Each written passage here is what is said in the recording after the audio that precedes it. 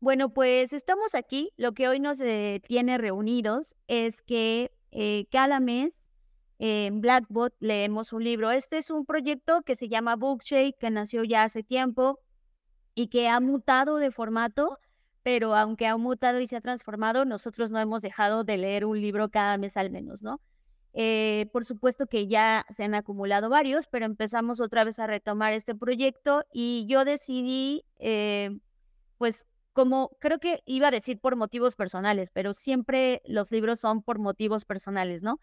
Eh, entonces, en este momento de mi vida, yo estaba buscando información sobre un concepto que de repente decidí nombrar autonomía de la atención. Y de hecho, quienes escuchan el podcast, seguro en algún momento me escucharon hablar al respecto. Para mí la autonomía de la atención es importante porque desde mi perspectiva y como una persona que se dedica profesionalmente a la creatividad y a la innovación, me di cuenta que, sobre todo en este contexto pospandémico, ninguna de las cosas puede ocurrir sin antes estar atentos de nuestra atención. Y por cosas me refiero, no puedes detonar creatividad, curiosidad, imaginación, intuición eh, e innovación si no estás atento o atenta a dónde estás poniendo tu atención. Y me di cuenta que mucho de nuestra ser, incluso quienes no se dedican profesionalmente a la creatividad, no importa si, no sé, te dedicas a la administración o a cualquier otro tema, pues estamos embebidos en un mundo donde cada vez es más difícil reclamar tu atención, ¿no? Porque cada vez tenemos más estímulos eh, bajo los cuales mm, pareciera que nos entrenan como en un tipo de condicionamiento. Y si no eres consciente de esto, pues es fácil, es mucho, muy fácil perderse, no solo en el mar de contenidos, sino en estar en una red social o estar con un grupo de personas y de repente decir, ¿cómo? Se me pasó todo este tiempo y luego viene un proceso o un círculo vicioso en decir, es que eh, estoy en este, todo este tiempo desperdiciado y te sientes mal contigo y te autopresionas y bueno, entras en un ciclo que pareciera nunca acabar, ¿no? Entonces, a raíz de esto yo comencé a mm, leer diferentes fuentes, diferentes cosas sobre como que me dieran fundamentos para sostener este argumento sobre la autonomía, autonomía de la atención. Y de pronto apareció en esa búsqueda eh, otro concepto que desde mi punto de vista ahora es más poderoso, que es la soberanía, y ahora estoy más bien pensando en la soberanía de la atención, ¿no? El libro Sovereign es un libro eh, de Emma Sepala. Emma es una autora que no, no es su primer libro.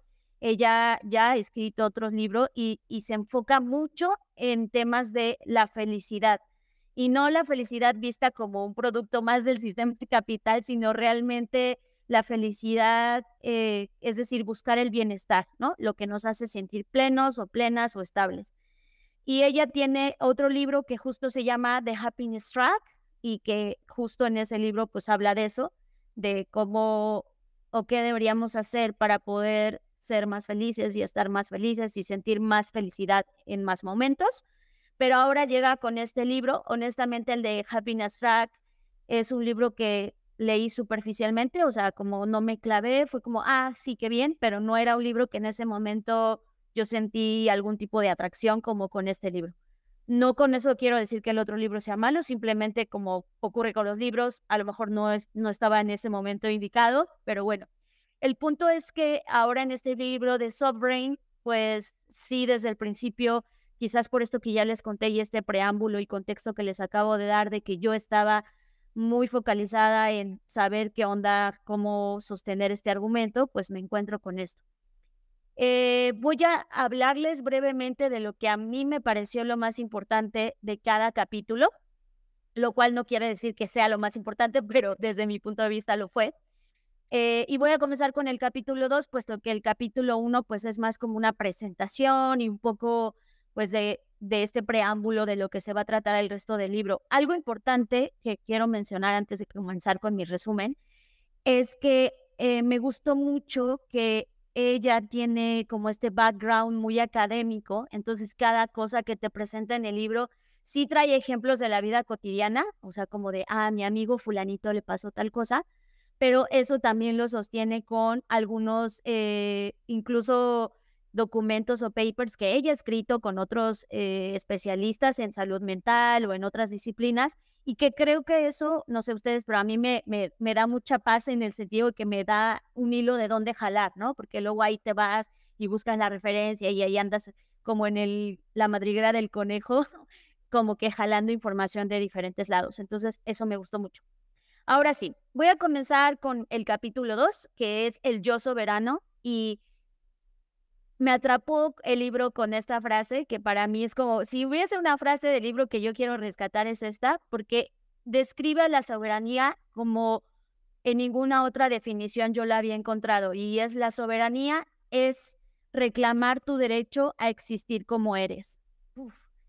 no sé ustedes, pero es una frase tan corta pero tan poderosa porque esto me detonó a mí un montón de cosas, ¿no? Como que dije, a ver, vamos por partes. La soberanía es reclamar tu derecho a existir como eres. Y entonces yo dije, ¿y qué significa existir como soy? ¿Cómo sé que estoy siendo como soy? ¿No? O sea, eso me detonó otras preguntas a su vez, eh, que yo dije, ok, esto necesita más tiempo del que yo creí. Y ahí comencé como a explorar y decir, claro, entonces, antes de enfrentarte a evaluar si estás siendo soberano o no, pues el primer paso es el autoconocimiento, ¿no? ¿Cuáles son tus límites? ¿Qué consideras que es existir como tú eres? Eh, y, de hecho me preguntaba es, ¿será que con todo este tema de la atención hemos perdido el saber cómo somos? Y bueno, eso, eso me llevó, ¿no? Eso fue lo que me atrapó del libro. Y en este capítulo 2, pues habla de varios conceptos interesantes, entre los cuales destaco el tema de la autocrítica versus la autoconciencia. Y por supuesto que me sentí totalmente identificada, ¿no? Yo soy una persona que en algún momento de mi vida fui muy demandante conmigo misma. O sea, hoy ya le bajé un montón, yo ya estoy como más chill, pero antes era como que no, sobre exigencia al máximo y así. Y esto me hizo mucho sentido, ¿no? Porque eh, justo ella menciona, la autocrítica es muy destructiva, porque genera vergüenza, socava la autoestima, versus la autoconciencia, que es constructiva, eh, reconoce las debilidades que uno tiene o tus propias debilidades sin juicio y promueve el crecimiento personal.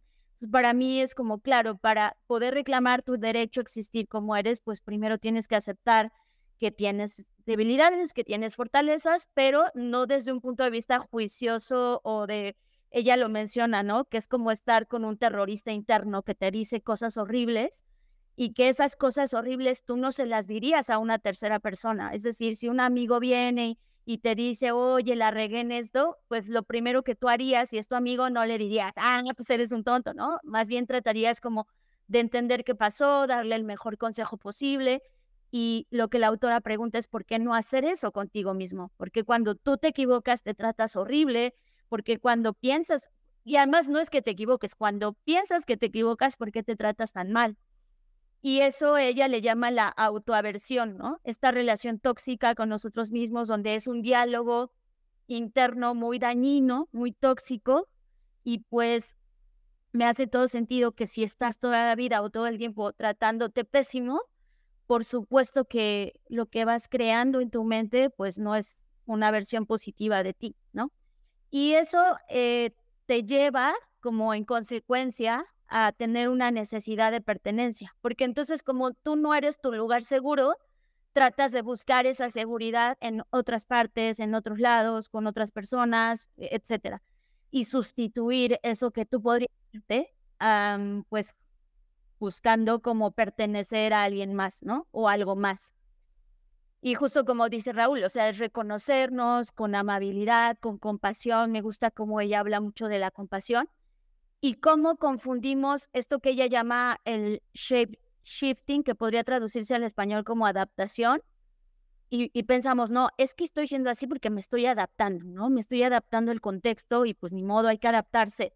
Y creo que este concepto de hay que adaptarse nos provoca mucho daño en muchos sentidos, porque a veces como que perdemos las líneas o se difuminan tanto entre me estoy adaptando o estoy dejando de ser yo mismo realmente, ¿no? Ya sea en una relación de trabajo, laboral, emocional, etcétera. Creo que, no sé, no quiero generalizar, pero muchos nos ha pasado que te empiezas a comportar de cierta manera hasta que encuentras que, ah, ya no estoy siendo yo mismo, ¿no? Y entonces ella sugiere una reprogramación en donde cambiemos la autocrítica, la autoaversión por autocompasión. Tratarse a uno mismo o una misma con la amabilidad y comprensión que tratarías a un amigo cercano.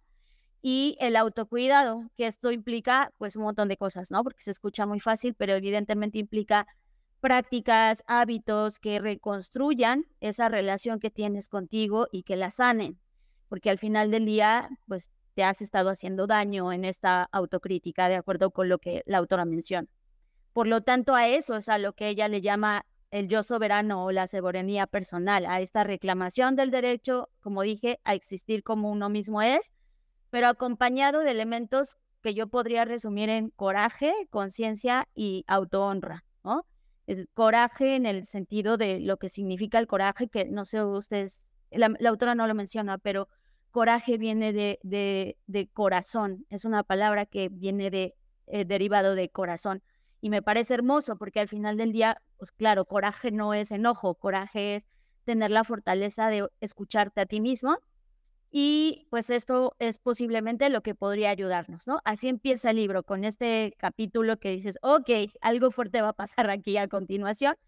Y luego en cada capítulo a partir de este nos habla de la soberanía en diferentes niveles. En el capítulo 3 nos habla de la soberanía de las emociones, que es justo desmitificar y desmontar cómo crecemos pensando que las emociones es mostrar debilidad o que es, es algo infantil o que pues no debería ser tomado en cuenta, sobre todo en entornos de trabajo, cuando por supuesto la realidad no es así. Y de hecho esto me recordó, es otro libro que también está reseñado en Bookshake que se llama Big Feelings eh, de Liz Foslien y de Molly West Duffy. Es otro libro que me recordó mucho esta parte, como de, claro, se llama Big Feelings porque son estas grandes emociones como el enojo, la aversión, eh, etcétera, se nos ha enseñado a ocultarlas. Y esta autora coincide que las reprimimos, las ahogamos y evidentemente eso al final del día nos provoca mucho más daño que bien.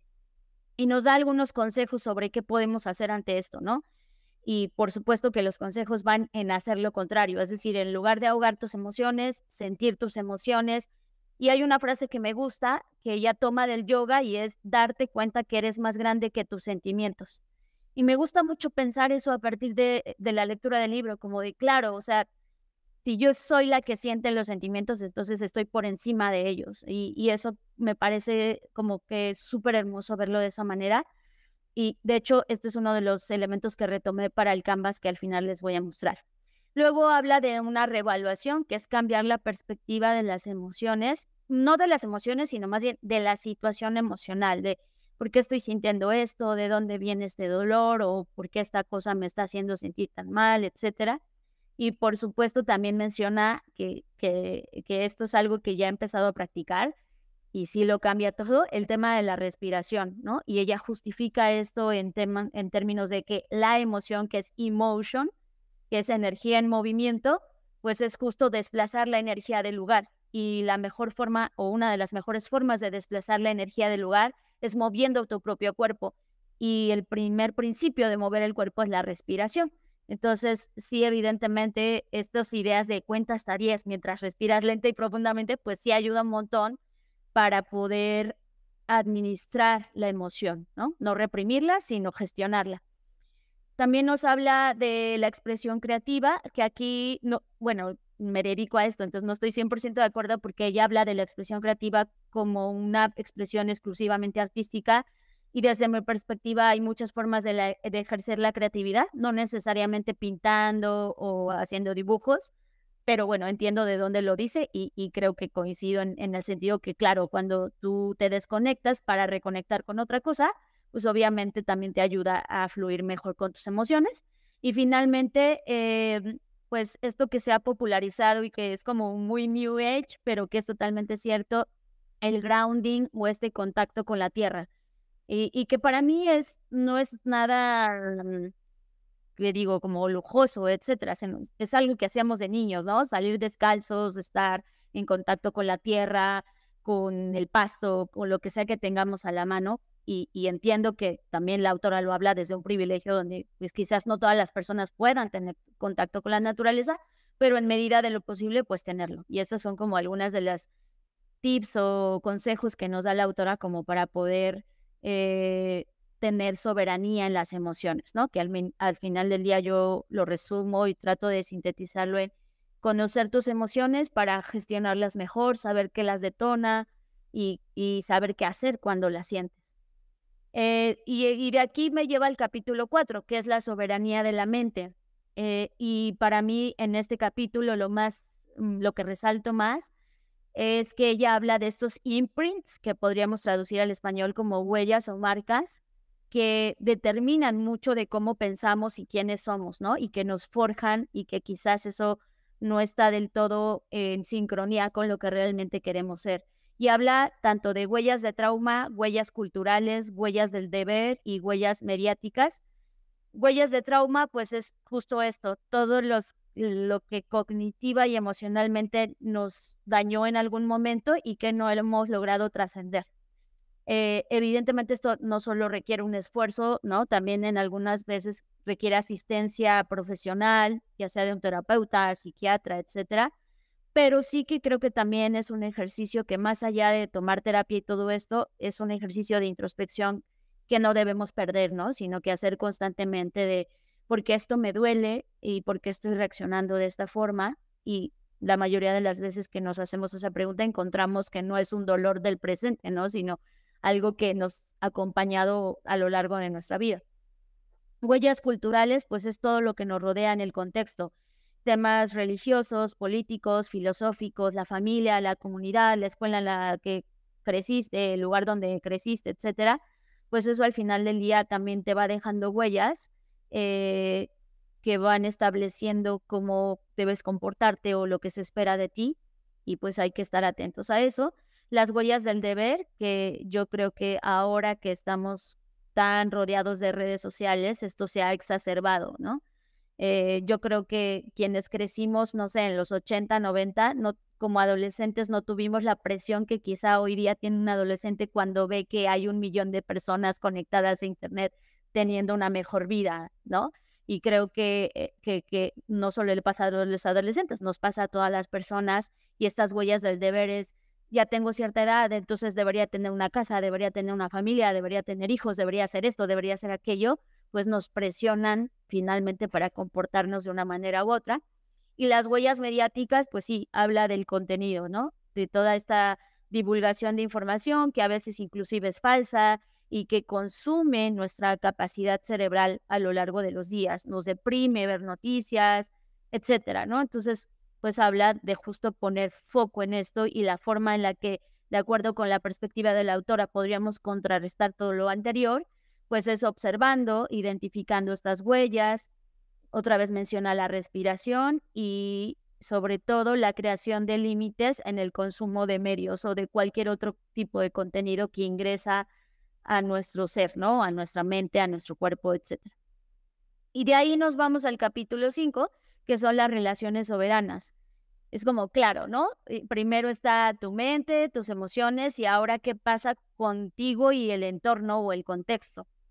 Y ella eh, me, me, encantó mucho que determina tres perfiles que de acuerdo con lo que en el libro describe, son el tres tipos de personas que podemos encontrar allá afuera, incluyendo a nosotros, ¿no? Que son los crushers, los sacrifiers y los stars, que serían los trituradores, los sacrificadores y las estrellas. Y menciona las cualidades de cada uno de ellos, ¿no? Y, y yo no sé quienes leyeron el libro se les pasó, pero yo me identifiqué con los tres porque en algún momento de mi vida he sido uno u otro, ¿no?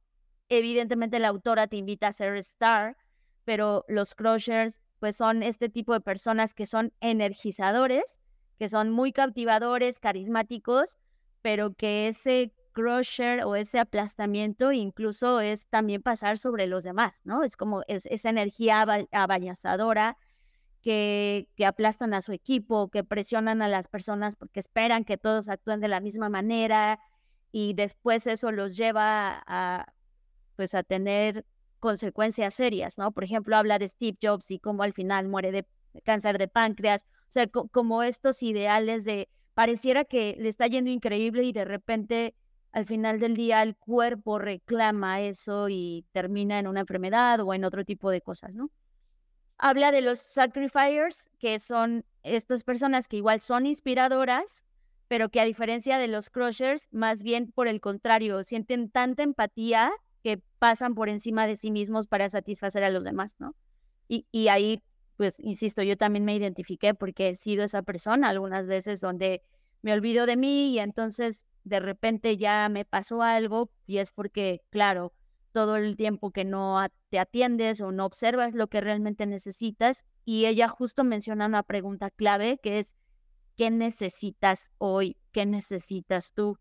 Y creo que es una pregunta que no debemos dejar de hacernos. Y al final ella dice, pues bueno, entonces, ¿cuál es la salida de esto? ¿no? Y ahí es donde entra el concepto de stars. Es como tomar lo mejor de los crushers, tomar lo mejor de los sacrifiers y eh, tener un balance, es decir, no florecer eh, pasando por encima de los demás, pero tampoco pasando por encima de uno mismo. Y que creo que ese es un balance, pues como que bastante equilibrado. Y eso después nos lleva a la soberanía de la intuición, que aquí yo eh, de nueva cuenta recordé un libro que se llama justamente así, The Power of Intuition, que es de Gary A. Klein, y me recordó mucho ese libro. Pero a diferencia del libro de Gary, aquí ella menciona una clasificación de la intuición que me parece bastante completa, porque ella ve la intuición como conciencia o como un aspecto consciente, la intuición como información fisiológica, la intuición como emoción, la intuición como procesamiento subconsciente y la intuición como innovación y creatividad. Y a mí el tema de la intuición me parece un elemento crucial para la creatividad y para las actividades que desempeñamos en el día a día. Y verla desde esta perspectiva tan holística o tan completa me parece muy atinado, eh, porque sí, sí que la intuición juega todos estos roles, ¿no? Cuando la vemos de manera consciente, pues esta hiperconciencia o esto que le llamamos sexto sentido que te habla y que digamos que de alguna forma afirma tus habilidades y te hace sentir como hay algo aquí que está pasando, ¿no? Como información fisiológica, pues sí, porque también se manifiesta, ¿no? A veces, no sé, nos duele el corazón, nos duele el estómago o, o palpita muy rápido el corazón. Y claro, eso es información que tu cuerpo está tratando de decirte que algo está pasando y me parece también una parte de escucha porque a veces en esta trampa que caemos de estar más atentos de lo que está pasando afuera que lo que está pasando al interior, a veces callamos esa voz y no le hacemos caso, ¿no? Y la intuición como emoción, pues por supuesto, porque al, final del día eh, proporciona información incluso por debajo de nuestra conciencia. A veces como que te sientes triste o con energía un poco baja y creo que la intuición es parte como de quizás una señal de decirte, pues es que tienes que bajarle el ritmo, ¿no? Y, como procesamiento subconsciente, por supuesto, ¿no? Porque al final del día, incluso, insisto, yo he tratado de estudiar mucho sobre la intuición y sí, eh, a nivel cerebral, incluso el cómo funciona la intuición es todo un misterio, pero una de las cosas que se han dado cuenta que sí es como una parte de tu cerebro que está todo el tiempo activa, incluso cuando duermes, y eso me parece una locura, ¿no? Es algo que no descansa. Y la intuición como innovación y creatividad, pues sí, porque al final del día la intuición es una especie de receptividad, una especie de otro sentido con el que contamos y que también es una fuente de captación de información que cuando estás creando algo es esa cosa que te dice esto va a funcionar o, a lo mejor no funciona y, lo sientes y lo sabes de alguna manera. Entonces me, me gusta mucho esta parte de la intuición. Y después viene el último capítulo que es con el que cierra el libro, que es la soberanía del cuerpo y que también me hace sentido el storytelling que la autora lleva y termina con esto, porque nada de esto funciona si tu cuerpo no está sano, por supuesto, ¿no? Y habla sobre cómo, eh, pues esto, parte del sistema en el que hoy estamos, pues hace que no nos alimentemos de la mejor manera, no solamente, y eso no lo menciona la autora, pero yo, yo pienso, no solamente porque obviamente cada vez es más costoso alimentarse, sino también porque hay elementos que nos ayudaron a sobrevivir en algún momento de nuestra era como humanos, que hoy en el contexto en el que estamos son elementos que juegan en nuestra contra, ¿no? O sea, es decir, tú desarrollamos un sentido de, del peligro, que es lo que detona el estrés o la ansiedad, que en algún momento nos sirvió para escondernos de los depredadores, pero hoy en este contexto, pues eso se activa por otros estímulos y nos tiene deprimidos, estresados, agotados, con problemas de salud. Y ella justo es, hay que recuperar eso, hay que, y, y que eso al final lo menciona ella, es algo, un trabajo constante, ¿no? No solo es hacer ejercicio porque quieras estar más delgado, delgada, sino también entender lo que el ejercicio le hace a tu cuerpo, los beneficios que eso tiene y tratar a tu cuerpo como un mejor amigo. Eso es lo que la autora menciona, como es algo que dice mucho, muchas veces a lo largo del libro y que creo que la parte más difícil aquí de la soberanía del cuerpo es la desconexión del estrés, porque claro, para lograr hacer eso tienes que tener un alto nivel de autoconciencia de cómo se siente el estrés en tu cuerpo, cómo saber cuándo ya lo estás sintiendo, los detonantes, etcétera. Y, y creo que, que esta parte, pues es, es, es creo yo la, la más compleja, no, no, no imposible quizás de ejecutar, pero sí la más compleja, insisto, porque el cuerpo implica no solo la mente, la alimentación y el ejercicio, sino también estos dos elementos están correlacionados con otros, ¿no? Como la desigualdad, la pobreza, o sea, los alimentos no están disponibles para todos, etcétera. Y creo que esta es la parte que desde mi perspectiva es más compleja de practicar, pero que sí te ayuda a estar consciente de, oye, pues es que si estás ocho horas sentado frente a una computadora, por supuesto que eso no es saludable, ¿no? Entonces, toma descansos, levántate, bebe agua, etcétera. Y creo que esto es algo pues que hay que estar constantemente atendiendo. Y bueno, em, algo que comentan aquí en el chat es que, eh, y es verdad, en, el capítulo de soberanía de las relaciones habla mucho sobre qué cosas o cuestiones te llenan el tanque o qué cosas lo vacías, eh, qué cosas lo vacían. Y, y, aquí, digo, yo no sé ustedes, pero yo voy a compartir aquí una experiencia personal brevemente. Mm, Hace ya un tiempo, no, no, no sé exactamente cuánto, pero unos meses, eh, yo decidí cerrar mi Facebook. Y hay aquí algunas cosas que debo dejar en claro. Y es, primero, yo me dedico profesionalmente al análisis de comportamiento social digital. Por lo tanto, eh, la mayoría de las redes que tengo no es porque yo las quiera tener, sino porque mi trabajo me demanda, ¿no? Pero me di cuenta que al final y, quiero que, que vean cómo lo verbalizo. No es que no me gustara Facebook, sino no me gustaba la persona que me hacía sentir que yo era Facebook. E, y, y que creo que ahí es donde entendí un día que estaba en la red y dije, esto no es para mí. O sea, todo lo que aquí veo me hace sentir que estoy siendo una persona que no soy, que no, no, no me hace sentido nada de lo que veo acá, ¿no? Y no pasó nada, o sea, obviamente para sorpresa de nadie, no pasó nada, el mundo sigue igual, el mundo sigue girando a mí no me pasó nada, no hice peor mi trabajo, no me dejé de enterar de cosas que son cruciales para mi trabajo. Entonces, ¿a qué voy con este ejemplo? Que yo me di cuenta que esto vaciaba mi tanque, o sea, realmente era algo que drenaba mi energía. Y a partir de que dejé de hacerlo, al contrario, ¿no? Como que destrabé un montón de cosas que yo inconscientemente no me había dado cuenta que estaban sujetas a, mi relación con Facebook. Entonces creo que eso me detonó a mí muchas cosas de qué otras cosas están en mi vida que no me he dado cuenta que provocan esto.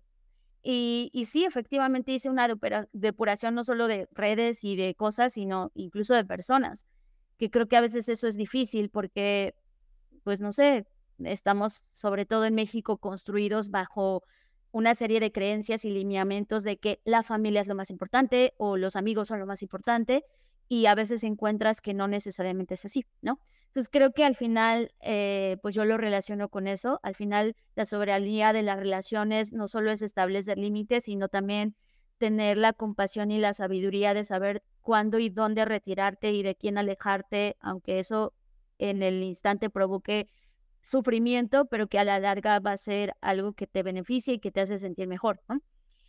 Y bueno, pues esos son mis eh, breves resumen que hice del libro. Y yo no sé si a ustedes les pasa, pero yo cada que termino de leer un libro, un libro que realmente me haya movido, me haya interesado, trato de hacer algo para aplicarlo, porque desde mi perspectiva, si lees un libro y luego dices, ay, qué bonito estuvo, pero no haces nada con eso, pues ese conocimiento, pues se te olvida, ¿no? O se te pasa o solo se vuelve una memoria de, ay, pues qué, bonito libro leí. Y de, desde ese lugar, entonces decidí comenzar en, en mi libreta como hacer una serie de ejercicios que yo relacioné con el libro y decir, ah, si practico esto, puedo entonces darme cuenta que tanto estoy ejerciendo mi soberanía en el día a día. Eh, no para medirla como un, como un estrés más en mi vida, sino más bien para justo autoconocerme y decir, ah, claro, aquí en estos aspectos de mi vida quizás me falta más desarrollar X cosa, etc. E, es más una herramienta de autoconocimiento que una medición estricta de, ah, qué tan soberano eres del 1 al 10, ¿no? Eh, y entonces de ese, de ese ejercicio constante que hice desde el día que leí el libro o de que terminé de leerlo hasta la fecha, hice, porque además tengo otro lado que este, me encanta desarrollar herramientas pedagógicas y herramientas que ayudan a las personas justo a bajar conocimiento. Entonces hice un canvas y ese canvas se los quiero compartir el día de hoy. Ahí está. Este es el canvas. Eh, lo dividí en dos partes. Este cuadrante que ven aquí, ahorita le voy a ir haciendo suma a cada cosa, no se preocupen. Pero este primer cuadrante eh, es, yo lo dividí como el interior de cada persona, ¿no? Que para mí el interior, pues justo está eh, la mente, las emociones, el cuerpo y la intuición. Y que eso depende de nosotros, es interno. Y acá abajo puse lo externo, que son las relaciones. Y acá, de este lado, es otro cuadrante que nos ayuda a reflexionar en el día y como tiene algunas frases que desde mi perspectiva son de asistencia por si el día no está fluyendo como tú esperas, ¿no? Voy a ir por partes. Primero, en la parte de la mente, eh, pues este es un ejercicio de reflexionar que desde mi perspectiva, y así es como yo lo he estado explicando, lo hago al final de, de cada día eh, obviamente a veces no lo hago, o sea, por eso les decía, no es como que agregar un elemento de presión a nuestras vidas.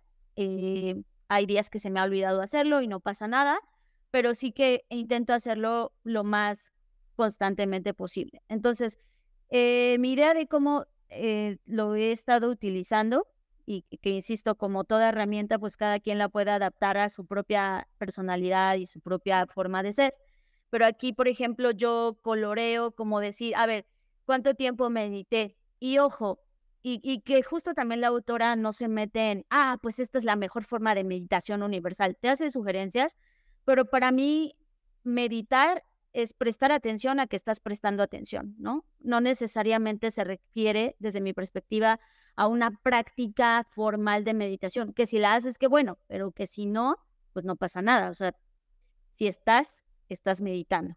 Entonces, eh, aquí puse 15 minutos, 30 minutos, 45 minutos o 60 minutos o más. Entonces yo digo, ah, pues hoy la verdad solo le dediqué, este, no sé, 15, 15 minutos y ya coloreo ese, ese relojito de los 15 minutos. Coloreo el relojito, lo tacho, lo marco, ¿no? Después está eh, para contrastar esto, cuánto tiempo estuve en redes sociales. Y pues también, ¿no? Es como para ver que en dónde se está yendo más tiempo de mi vida. Y redes sociales, yo no pongo la parte de mi trabajo porque digo, ay, pues me dedico a las redes sociales, no, la, no cuento el tiempo que es trabajo, sino que yo estuve ahí en TikTok riéndome de los memes o de lo que sea que me esté riendo, y ahí, ¿no? Entonces digo, ay, ¿sabes qué? La verdad se me pasó la mano y estuve más de una hora, no sé, cada quien sabrá. Y luego viene una parte que para mí es crucial, que es como de esto que acabas de darte cuenta, pues qué estás pensando, ¿no? ¿Qué, qué reflexiones te llevas, qué te detona, cómo te hace sentir ese resultado. Y pues aquí en la parte de notas, pues es justo eso, para tomar notas y decir, ah, eh, si me pasé, no me pasé, me siento bien, no me siento bien, etc. Y luego viene una parte donde está la parte de las emociones, y es cómo te sentiste hoy. Y aquí hago uso de una herramienta que es la rueda de las emociones y la rueda de las emociones es un una cosa que creó un psicólogo estadounidense eh, que se llama Robert Plotchick. y Robert lo que hace es como, claro, o sea, porque luego dices, ay, me sentí mal. Sí, pero ¿qué es mal? Aburrido, ocupado, estresado, cansado. Y creo que esta rueda pues ayuda como a describir muy bien cómo nos sentimos, ¿no? O al menos con más detalle. Entonces, en lugar de solo decir, ay, me sentí feliz o me sentí mal o me sentí triste, pues, ¿qué significa sentirse triste o qué significa o, como que logres identificar mejor tu emoción? Entonces, apoyada de esta rueda, pues aquí contesto, ah, pues me sentí eh, decepcionada, que podría ser una de las emociones, ¿no? ¿Y cuánto tiempo de este día lo dedicaste para ti? Y también vienen unos relojitos y cuando digo que cuánto tiempo este día lo dedicaste para ti, no me refiero a me metí al baño con mi teléfono y ya ese cuenta tiempo para mí, ¿no? O sea, sino realmente que yo dije, ah, ok, voy a tomarme cinco minutos, diez o los que me tomé para estar yo conmigo. O sea, yo conmigo y mis pensamientos o yo conmigo coloreando o lo que sea que quiera hacer, pero que sé que es tiempo para mí. Y pues también aquí lo marco en este relojito, ¿no? Y después la reflexión, o sea, es como que esto que acabo de escribir, pues reflexionarlo, cómo me hace sentir, etcétera. Siempre usando los conceptos de la autora, que es desde la compasión y desde el autoconocimiento y no la autocrítica de, ay, pues ya ves, ya estás otra vez, sino mm, tratando de aplicar lo que aprendí en el libro, ¿no?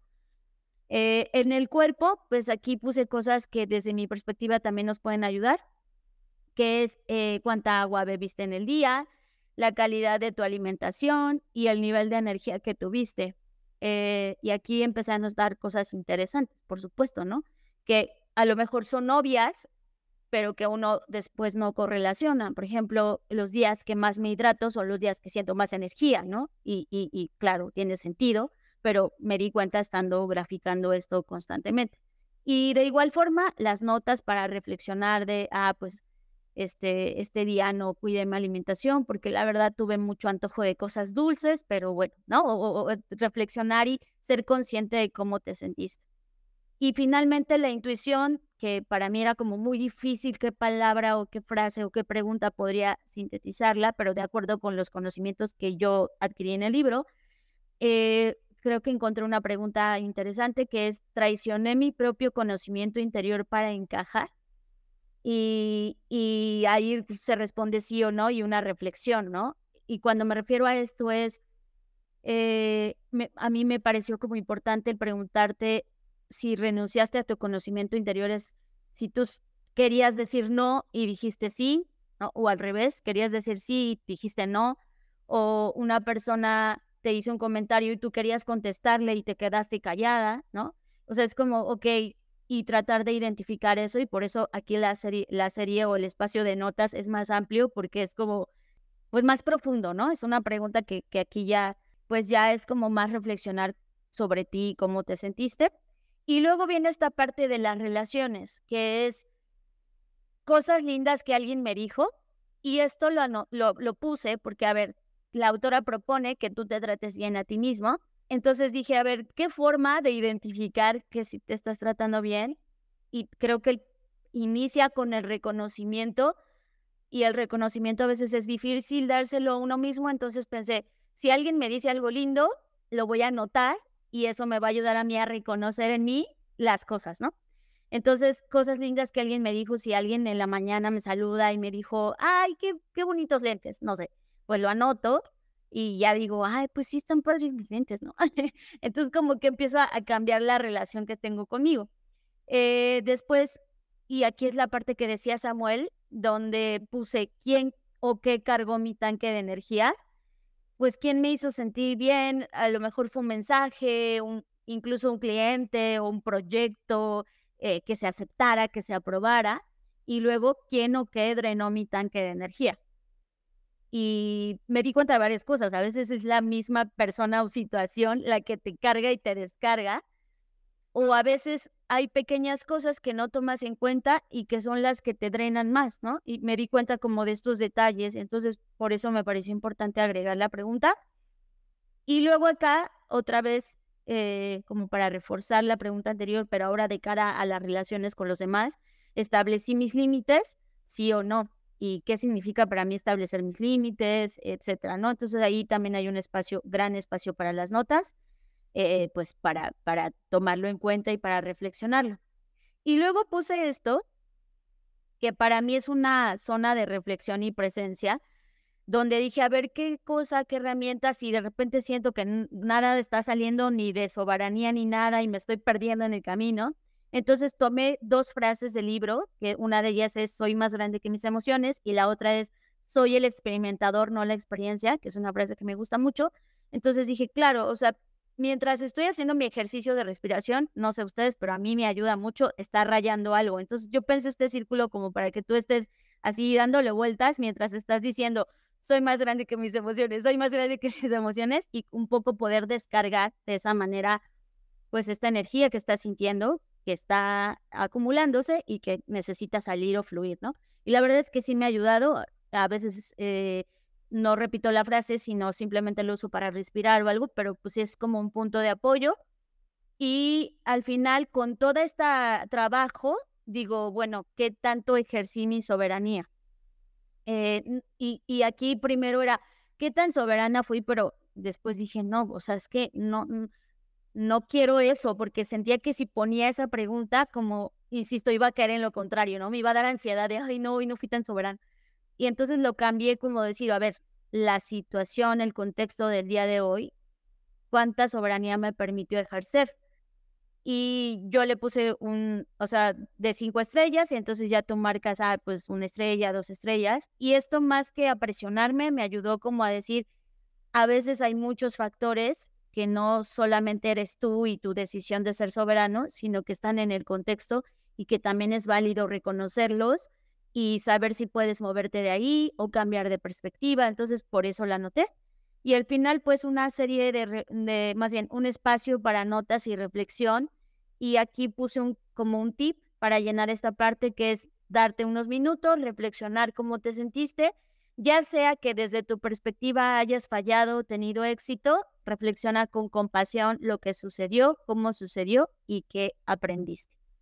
Entonces, así está. Y ustedes, ya sé que ahorita pareciera como que es mucho, pero ya, o sea, al principio obviamente seguro el primer día te toma más tiempo, pero ya después fue como muy, muy sencillo irlo llenando. E insisto, no siempre lo lleno todo, no siempre eh, diario he logrado, mentiría si dijera que sí, pero creo que es un ejercicio al que si recurrimos constantemente nos puede justo ayudar a entender mejor la soberanía, nuestra soberanía y sobre todo lo que decía la autora, que con esto inicié, que es como realmente darnos cuenta si estamos siendo lo que queremos ser, ¿no? Para entonces poder reclamar eso que queremos ser y entonces sí autodenominarnos soberanos o no.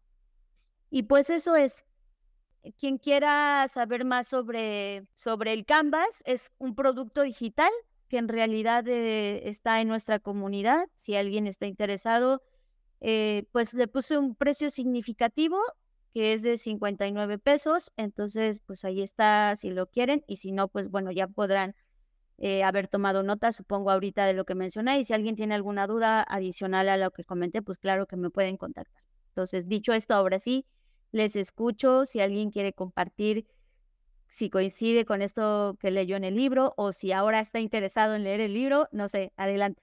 Oye, Fer, apelando justo a la intuición, eh, no sé, yo no leí el libro, pero intuitivamente llegué aquí por alguna razón y me parece como muy poderoso como abriste la, la sesión. O sea, en este proceso de autoconocimiento y de autoaceptación y, de ser resilientes e incluso compasivos con nosotros mismos, la verdad es que no siempre somos o nos dejamos ser tal cual como somos, Y creo que es una gran, gran reflexión que podamos regresar como a, a dejar de solo vivir y tampoco matarnos como en en repensar y repensar si estamos siendo auténticos o no, más bien en autoconocernos para poder transitar nuestra vida de forma tranquila, ¿no?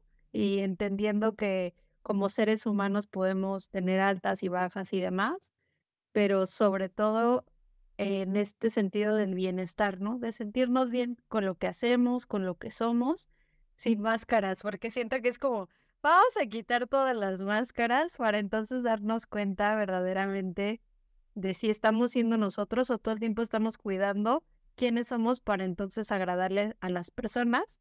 Y a mí la parte de las relaciones me llamó como mucho la atención, quizá eh, no, no, no se profundizó tanto, pero lo relaciono con el, el episodio que ustedes recomendaron hace 15 días, si no me equivoco, hace como dos episodios en el podcast, me lo chuté y como decía esta persona, ¿no? De, la verdad es que no haber alguien que te ame tanto como tú, porque si existe, está igual de loco que tú, ¿no? O sea, como que me hizo como mucho sentido y, está muy interesante la herramienta y muchas gracias por compartirla y por ser tan generosa.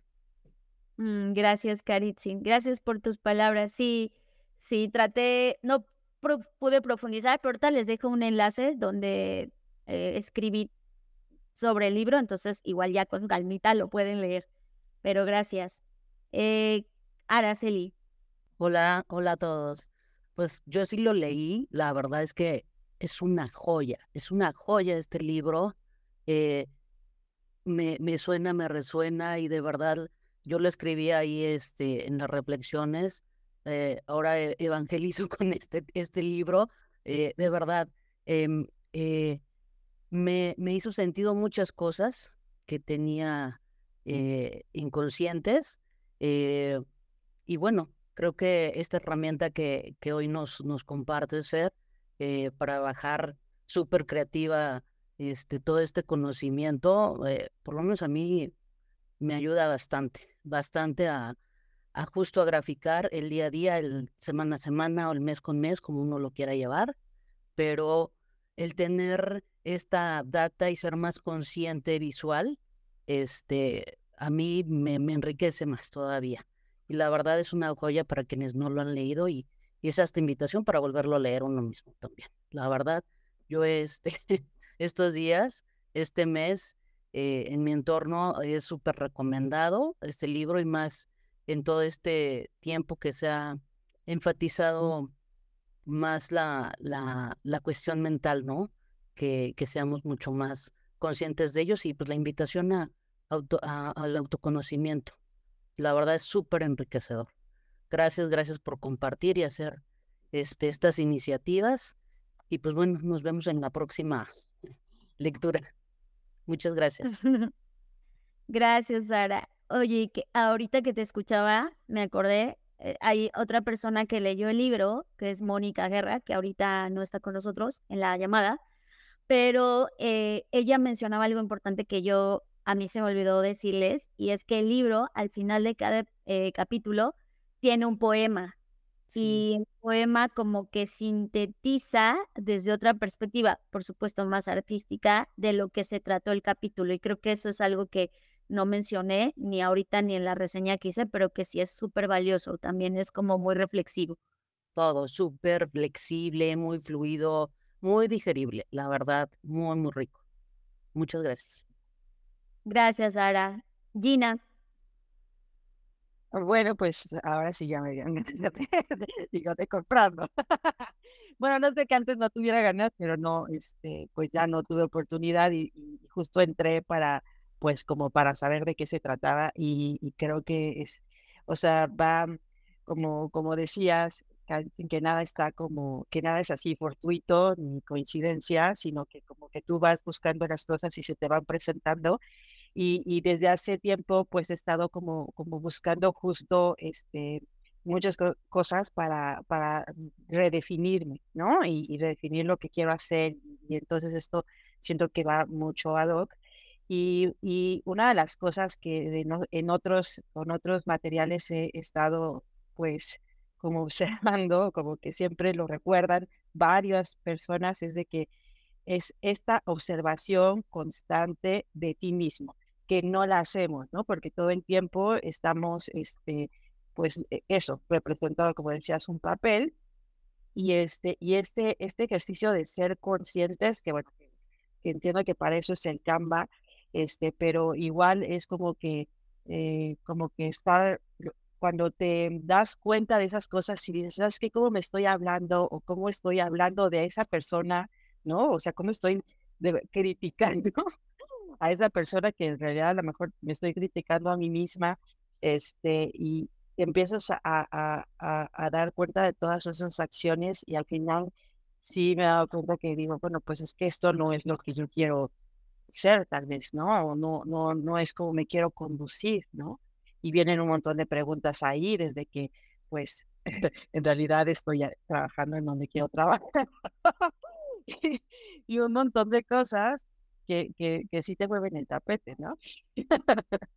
Entonces, pero el ejercicio este constante de, de, ser conscientes todo el tiempo es bien difícil, ¿no? Porque inmediatamente luego otra vez estás, este, no te das cuenta y otra vez estás, este, exigiéndote mucho. Yo también me pasa mucho eso de que, que es como una exigencia todo el tiempo y así como, ¿por qué tienes que ser así contigo? No, o sea, que...